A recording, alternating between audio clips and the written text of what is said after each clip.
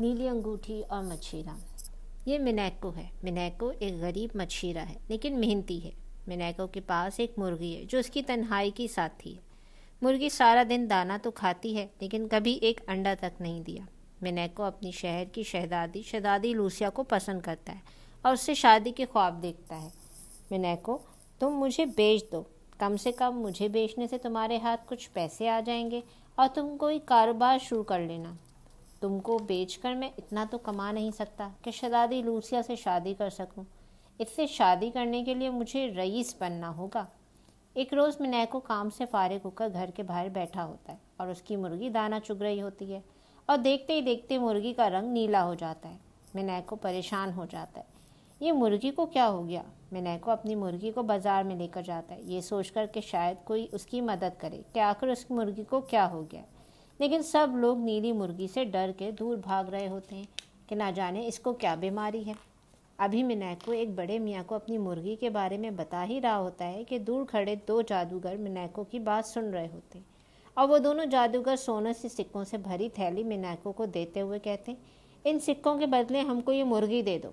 मिनैको कहता है, मुझे ये मुर्गी बेचनी नहीं है, बस आप मुझको ये बता दें कि आखिर इसका रंग कब ठीक होगा। दोनों जादूगर थोड़े फासले पर जाकर बात करते ये लड़का तो हमको, ये जादुई मुर्गी हमको देने के लिए तैयार नहीं है। इसको अभी नहीं पता अपनी मुर्गी की खासियत। ये नीली मुर्गी चौदहवीं रात को एक नीली अंगूठी में तब्दील हो जाएगी। और वह अंगूठी पहनने वाला जो ख्वाहिश करेगा, वो पूरी होगी। दूसरा जादूगर कहते हैं, लेकिन अगर अंगूठी खो गई या चोरी हो गई तो अंगूठी का मालिक बूढ़ा हो जाएगा। विनायक दोनों जादूगरों की बात सुन लेता है और अपनी मुर्गी लेकर खामोशी से वहाँ से चला जाता है और घर आ जाता है। मेरी प्यारी मुर्गी, मैं तुमको बीमार समझता था, लेकिन तुम पर तो किसी जादू का असर है। तुम चौदहवीं की रात को मुझसे जुदा हो जाओगी। मुझे इस बात का बहुत अफसोस है।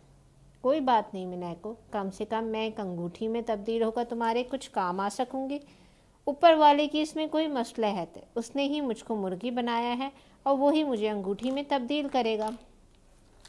और चाँद की चौदह तारीख को जब चाँद पूरी आबोताब के साथ रोशन होता है और मिनैको गहरी नींद में सो रहा होता है, तभी मुर्गी ज़ोर ज़ोर से पर फैलाने लगती है और उसके शोर से मिनैको उठकर बैठ जाता है। और देखते ही देखते मुर्गी एक नीले रंग की अंगूठी में तब्दील हो जाती है। मिनैको रोते हुए अंगूठी उठाता है। अरे मेरी मुर्गी को क्या हुआ? और अंगूठी में से मुर्गी की आवाज़ आती है। बेवकूफ़, जल्दी से ख्वाहिश करो कि तुम बहुत रईस बन जाओ, शहजादे की तरह। और मिनय को जल्दी से अपने लिए ख्वाहिश करता है। काश मैं एक शहजादा बन जाऊँ और बहुत अमीर हो जाऊँ। और पलक झपकते ही मिनय को बेहतरीन शाही लिबास में एक महल में खड़ा होता है, जहाँ सब लोग उसकी जी हुजूरी कर रहे होते हैं। मालिक, हुक्म कीजिए, हम आपके लिए क्या कर सकते हैं? और अगले रोज़ सुबह सुबह मिनय को बेहतरीन तहाइफ के साथ शहजादी रूसिया के महल का रुख करता है। और बादशाह की खिदमत में तहाइफ पेश करते हुए शहजादी लूसिया का रिश्ता भी देता है।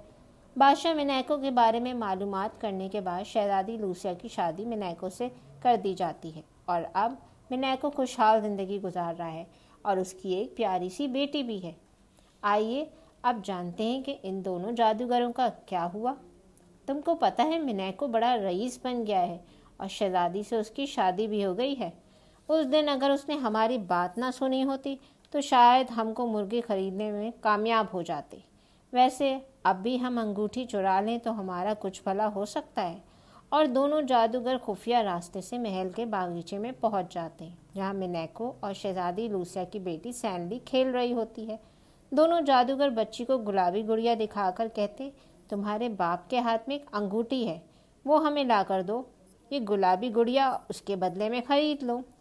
बाबा, मुझे आपकी नीली अंगूठी चाहिए, लेकिन सैनली आपको वही अंगूठी क्यों चाहिए?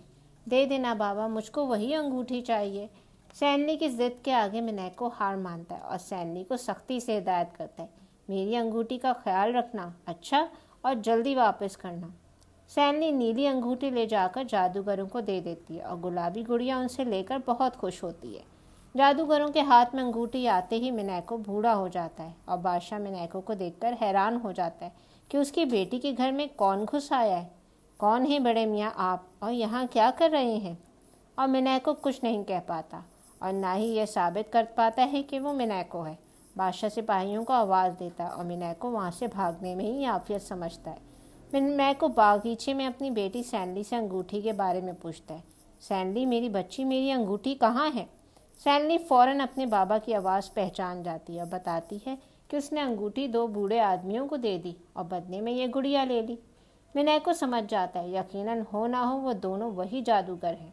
अब मिनैको पूरा दिन और पूरी रात चलता रहता है जादूगरों की तलाश में। जंगल के रास्ते में मिनैको को एक चूहा मिलता है। तुम यहाँ क्या कर रहे हो बूढ़े आदमी? ये मेरी मुमलिकत है। मिनैको चूहे को सारा किस्सा कह सुनाता है।